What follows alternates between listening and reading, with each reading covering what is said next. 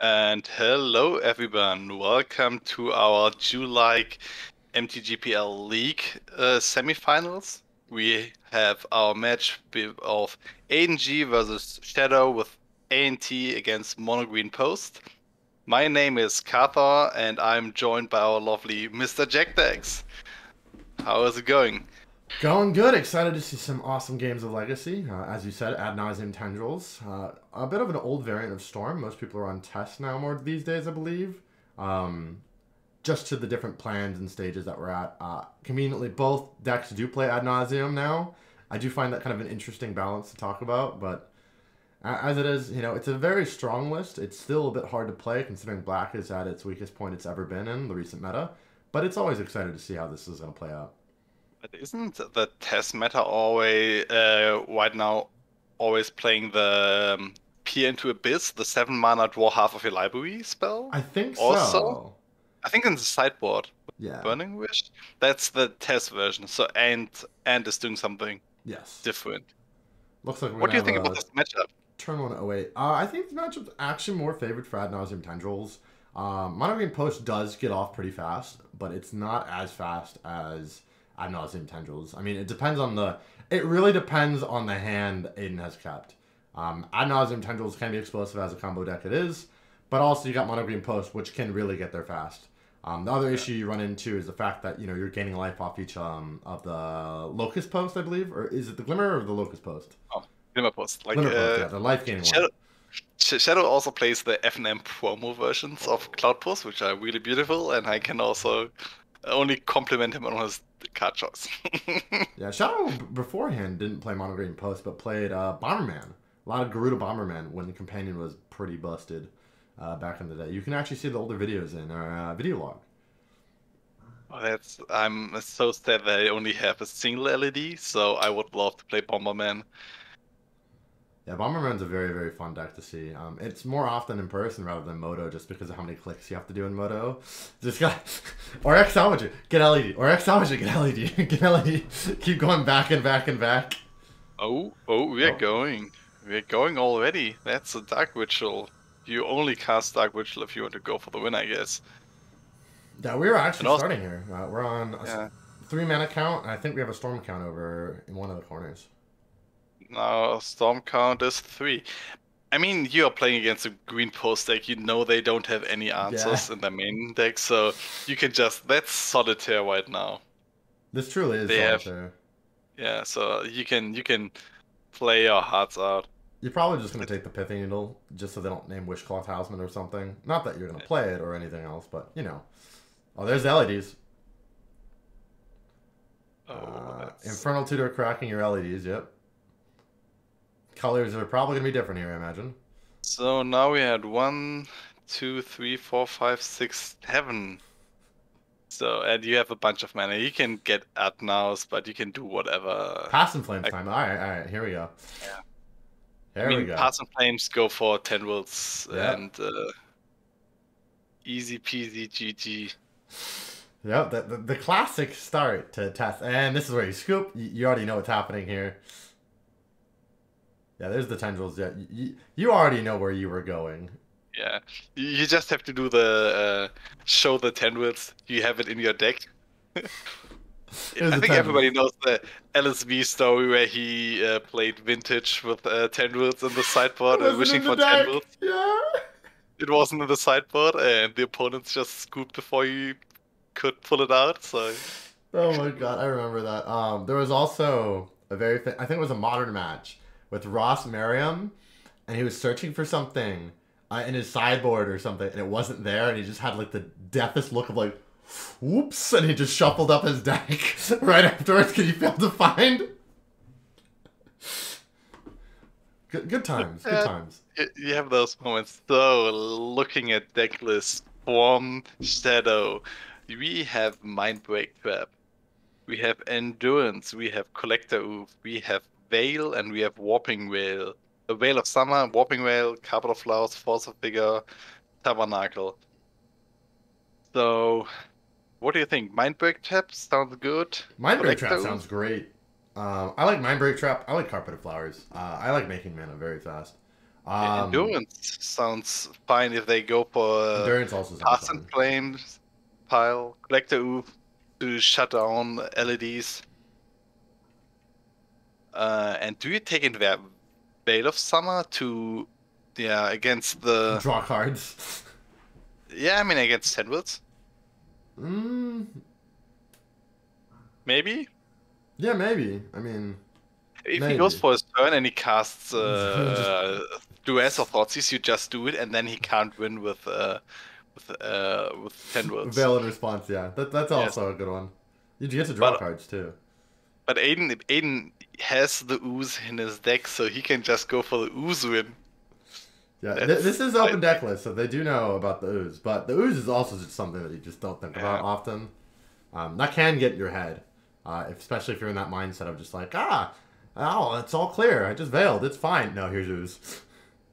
It- Well, what do you even get on uh, Aiden's side? Like, he has Carpet of Flowers, useless, Chain of Vapor, That's maybe relevant.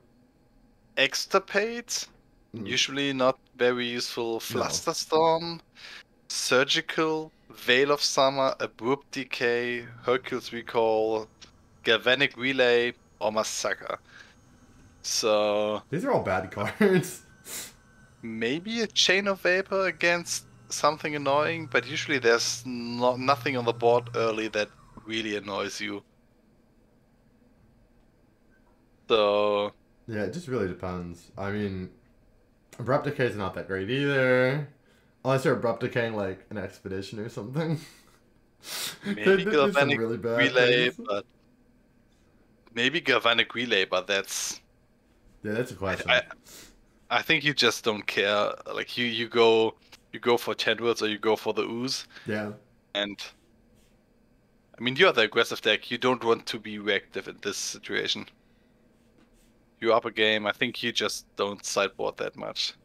No, agreed. I, I, I think the deck's as good as it gets in the main board against this uh, matchup.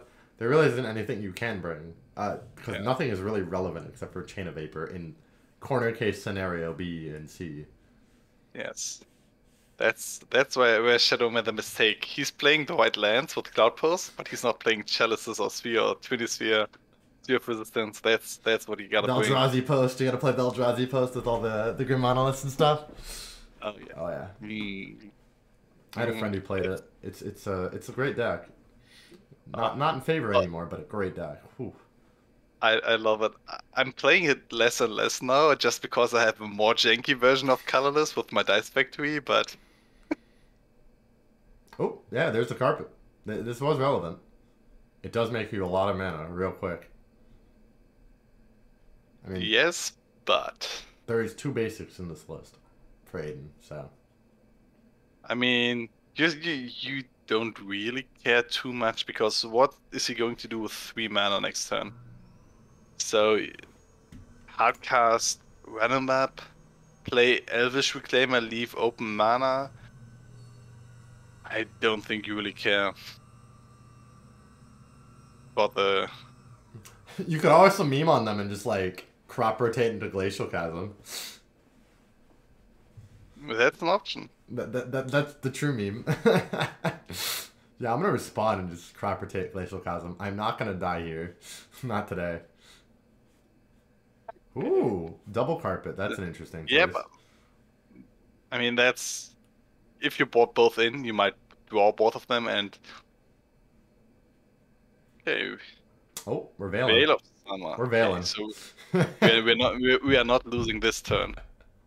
We're veiling. I mean, there's also the fact that Green Sun is in this deck, so you can just Green Sun for whatever you need. Um, Yeah. If that's your option here. Interesting. Aiden is opting not to play uh, to fetch here because that's I don't like want to make more mana. You know, now that's hard casting Eldrazi territory with four additional mana, playing a Glimmer Post. That's uh, yeah, I'm gonna play Ulamog. seven, eight mana. I'm gonna play Ulamog. Get wrecked. Uh, that's a early Bojuka Bog. Yeah, that's pretty early. I would not have brought it down here. Um, Like, I mean, I mean, I guess it is a card. Uh, uh, there's no way to blink it, as far as I remember. yeah, but I mean, you kind of want to crop rotate into it anyway, so. Yeah, you crop rotate into it and get Ramunap Excavator online, which is a three drop. It is a three drop. You're, you're in good range. How many cards does Shadow have left? Because that's his third turn, so six, I mean, we're, we're on a clock here. eight, We're on a clock have- here. have four cards in hand now. Okay. I, I do like the fact it's like, okay, mana with both. Yeah, I- I don't think he's drawing very well right now. I don't think so either. I mean, we're, we're, we're playing lands when we need to be playing gas. Uh, Titan, Ooh, Titan. prime time. The notably new cool art of prime time. Yes. Seem to be resolving. get- We're getting some lands. Did you get the uh, Secret Lair, uh, or any of the Secret Lairs recently? Uh, I'm picking up the Mother of Runes one. I'm splitting it with uh, Bear actually. Uh, Bear is Nice. Bear really wants the Gwei lands, the Gwei versions of Mother of Runes, and I really want her daughter's um, Mother of Runes because I really Very like that nice. art. So yeah, Okay, Ooh, we're getting so- an Eye of Ugin, I think. And Cloud Post. So that's Ooh, going okay. for the win next turn, probably, because you just attack with Titan, get two more posts, and then you, with the Cloud, um, Play play Capital Emrakul. Play Emrakul the Promised End. I'm gonna purposely make sure you lose your game. does he play? Yeah, he play. He plays both Emrakuls. Oh, endurance is in hand. That's that's an interesting one. Yeah, promise then I'm just gonna storm off and then do nothing. Okay. So he bought in Tabernacle against the Ooze. Okay, I mean that that that, that is relevant, I guess, in a weird way. So how much money can you make on the other side? We have uh, three single color lands. Then we can make two more mana You got double post, uh, by to them generate two. prime time, Yep. and we, you get two mana by Carpet of Flower. So that's one, two, three, four, five, If you get a Yavimaya, you can actually use Wow. uh, Tabernacle to make mana. thirteen. That's thirteen mana. That's not enough to cast Ooh, Chain of Vapor. Chain of Vapor on the Titan. Okay. Yeah, that's that's something. So you can recast the Titan. Do you get the Recast the Titan. That's an interesting choice. I mean, it, it, does basically everything for you. you get Glacial Chasm uh, now to sacrifice the Bog? Mm, Because then you are kind of safe if he tries to go for his next turn. Yeah, maybe. We're getting Yavimaya. That makes sense, actually. That way we can play Tabernacle, make mana here. That actually makes a lot of sense. I don't like uh, using funny. the Cloud Post there because if you don't tap for the Cloud Post, you have the option to. Because now the Cloud Post tap for one more, you can maybe go for Eldrazi Oh, okay. activation. I don't think that's what we're going for here. I think we're going to cast uh, Endurance if we have to. Yeah, Yeah, we're, but look, we're looking still- to hard cast Endurance if we have to. But you can still hardcast Endurance with the Cloud Post if you get the Ya- Yavimaya. Yeah. And if you don't have to cast Endurance, you want to be able to activate uh, the Temple to save 7 mana next turn. That's true. No, that's true. There's a lot of decision making trees here.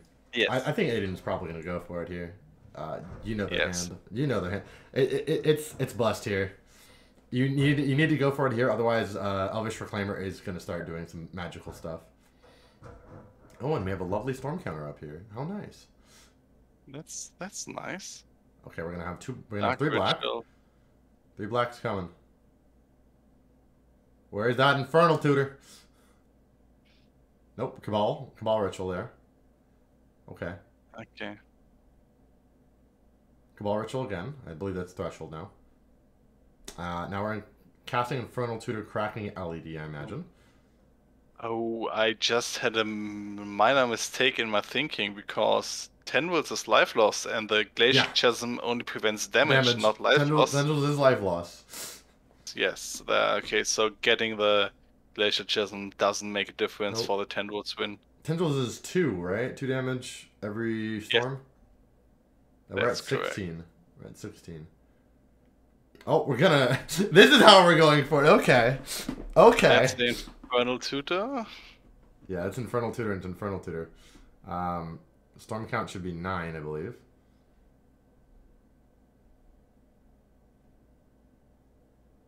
Okay, we're, And- we're in another Infernal Tutor. Okay, storm count should be 11 now, I believe. Eh, And then That's good. Yeah, that's exactly 20. Or it should be 22, I think. 22, yes. Yeah, yep. That's that is how Storm works. That is ad nauseam tendrils in a nutshell. Um, really well and fast played by Aiden. He Yeah. didn't think twice, he just Yeah, I'm gonna go for executed his game plan Yep. fast Oh. and efficiently. The Abrupt Decays were brought in along with the Chain of Vapors. Okay, that makes sense. Okay. A little bit surprised, but makes sense overall. Oh, Collective was brought in, I guess, for the Wish Claw. So, so and maybe a for the warping, and um, and the Warping Wail was brought in. Yeah, the Warping Wail is fine because you can, if they um, discard with LED in response to the tutor, you can counter the tutor and they have nothing. Ah, So that's why fair. such Warping Wail is, is a great card. That is a lot of cards to in. version. That's fair. And there's the I mean, you, have, you have a few cards to bring out, like Maze of Ith, Oh yeah, and- not even relevant here. Pithing Needles. I don't think you really want that in Retrofitter Foundry. You can bring out. Oh yeah. Uh, There's a couple things we can bring out. That's gonna Yeah. be it from us, y'all. Uh, thank you all for watching. As always, we have our Discord link below if you want to play in and join in on this awesome league action here. We have our Twitter if you want to follow us on Twitter. All sorts of other links down below. We do stream every so often, usually for the Invitational, which is every season. Next Invitational will be in November. As always, please let us be your local meta. Uh, my name is Mr. Jack Dax, and this is my lovely co-commentator Cathor. Anything you want to say, Cathor, before we head out? no, I'm I'm fine. I, I think that was a beautiful, fast uh, matchup where you see like what combo decks can do, and we'll see Aiden in the uh, finals. Yeah, in the finals against Black Sky Doc versus Eternally Surprised, whoever the winner of that match is. Have a good one, everyone. Goodbye.